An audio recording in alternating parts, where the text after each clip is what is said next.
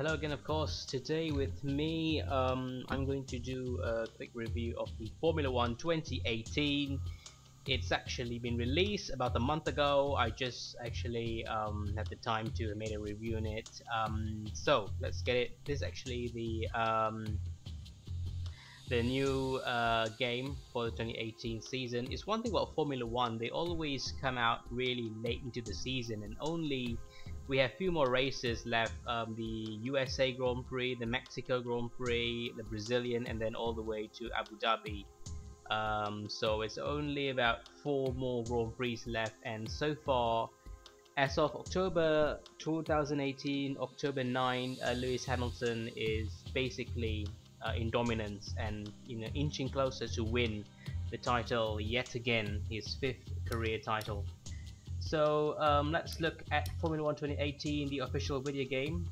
This is the career mode where you can actually select teams um, to actually uh, race in a season. I'm going to go for McLaren and then you can choose your driver. I can go for Fernando Alonso and then you can just actually um, change your weekend settings, uh, driver proficiency, um, all the traction control uh, and of course gameplay settings as well as the um, AI drivers uh, hardness level, race distance, formation lap and even qualifying practices as well. So this is pretty normal stuff. Um, let's go to other features. Grand Prix uh, similar thing. Uh, now we're talking about they still maintain the classic cars and modern Formula One cars. Uh, they got Mercedes, uh, Ferrari, Red Bull, Force India, Williams, Renault, Formula One team.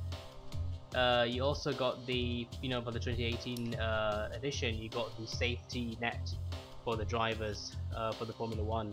Um, previously was not uh, there so these are the liveries for 2018, Alfa Romeo, um, Sauber, Mercedes. And for the classic cars, let's actually see, we got 1972 Team Lotus, 1976 Ferrari, this is of course Niki Lauda. And you also have a new feature this year round, which is Formula 1 1976 McLaren by James Hunt. So this will be the new uh, feature uh, 978 Team Lotus, 1979 Ferrari 312. I think this is also a new new car. I did not. I think it's a new car. Of course, did not see this car in the last edition. 1982 McLaren, 1988 a very famous McLaren from uh, Ayrton Senna, and uh, of course we go on to 1991, 1982 Williams. 1995 Ferrari, also uh, the second appearance, 1996 Williams, and of course another one which is 2002 Ferrari. Another new addition here 2003 Williams FW25 which is I think uh, driven by um, Ralf Schumacher and Juan Pablo Montoya back in the 2003 season. It's a very very very dominant car design. Uh, second best to Ferrari and McLaren. 2004 Ferrari the you know world's uh, the best I think era for Formula 1 the best most successful car 2006 Renault, 2007 Ferrari, 2008 McLaren, and a new edition 2009 Brawn GP from uh, Jenson Button winning championship winning car 2010 Red Bull. So there are the uh, selection of cars, multiplayer, time trial, event, um, and of course championships. Championship points. Uh, you got 2018 Formula One Classic Championships, Sprint Championships, so these are all uh, different type of championships which are actually um, embedded in the Formula One. Uh, the classical dual championship when you unlock uh, invitational events are actually um, events which are much more uh, specific. Uh, this one, for instance, is in France. Overtake challenge for the for the uh, in the selected car 2004 Ferrari so you got different different types of challenges which also was in the similar similar case and was in the previous Formula 1 games I think um, not much has really changed um, so let's get into the nitty gritty of it gameplay itself I'm gonna go start with a modern car first. Maybe I'm going to go for Lewis Hamilton. I'm going to be playing uh, in the new circuit, the France uh, Circuit Paul Ricard. Uh, as you can actually see this time around, this is the new track. They have um, eliminated the Malaysian Grand Prix, which is the Sepang International Circuit. Uh, so that is actually one classical Grand Prix, but this one, the new one, is the Paul Ricard Grand Prix, which had the last time uh, held in Formula One racing was I think back in the 1980s. I'm not sure, but I, I believe it's in 1980 somewhere. So I'm just gonna go forward and play a five minute laps just to see how the car feels. So this is the circuit. Um, I would say that not a lot of changes overall. I think it's, um, if you ask me, it's it's pretty much the same thing. Not much of uh, changes uh, as a regular Formula One uh, gaming fan would want to have.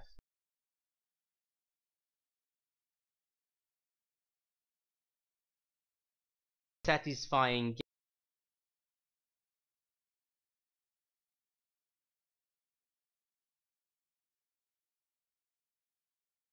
you know really have uh, successfully um, been in par with what the fans really want. It's that time once again, the final moment before lights out and the charge so down to turn one.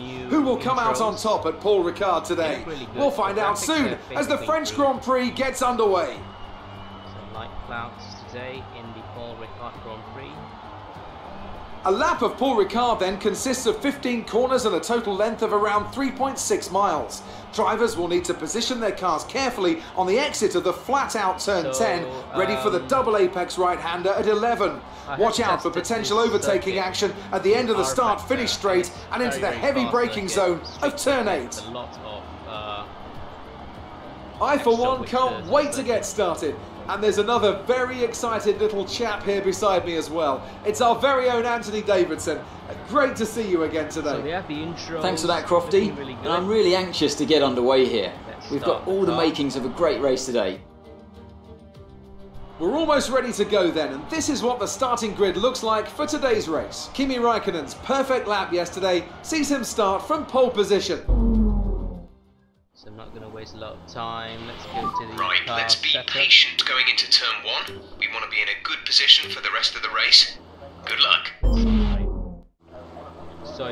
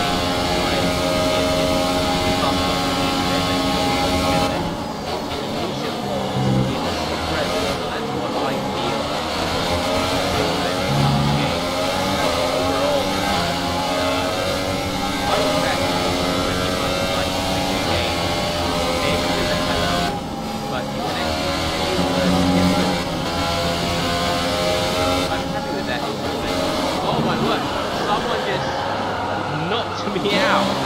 Oh my word. Ricardo, let's the replay here.